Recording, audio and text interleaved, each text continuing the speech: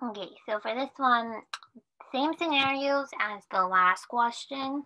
So they gave us the spot rates, uh, bond is sold at a price equal to its value, calculate the annual effective yield rate for the bond I.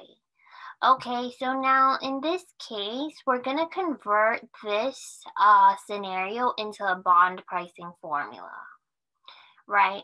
So we've determined from the last question that the value of the price when we're discounting back each coupon rate plus the uh 1000 plus 60 towards the end using the spot rates when we discount all of it we find out that the value of the uh this bond is 1926 right so we're going to input that into our bond pricing formula. Another thing is that we always need to take the 1000 times the coupon rate, which is 60 in this case, as the first part, set it as number three discounted.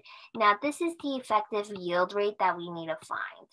And then plus um, the par value of a thousand because this needs to be the uh, redemption towards the end, the 60 that would have been added to the thousand to, to discount back to find the value of the bond would have been included in thousand, but since 60 is already included here, we just make a thousand over here. We, we have to discount that back as well. So now we have our bond pricing formula and now we're just gonna find the interest rate, right? So what we're gonna do is we're gonna do 926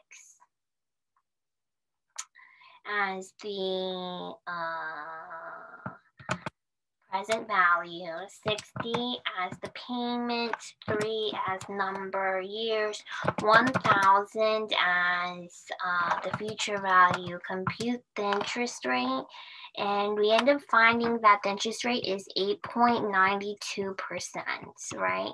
So it's closest to answer E.